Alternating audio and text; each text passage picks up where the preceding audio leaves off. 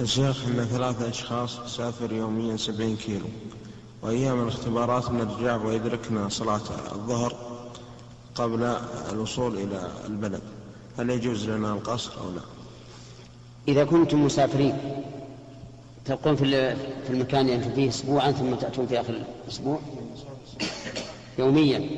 يوميا سبعين كيلو. إذا كنتم تسافرون يوميا سبعين كيلو فإنكم غير مسافرين. لأن المسافر هو الذي يحمل الزاد ويتأهب للسفر. ومثل هذه المدة القصيرة في مسافة قصيرة أيضا لا تبلغ المسافة التي حددها أكثر العلماء فإنكم لستم مسافرين بل عليكم أن تتموا الصلاة ولا تجمعوا.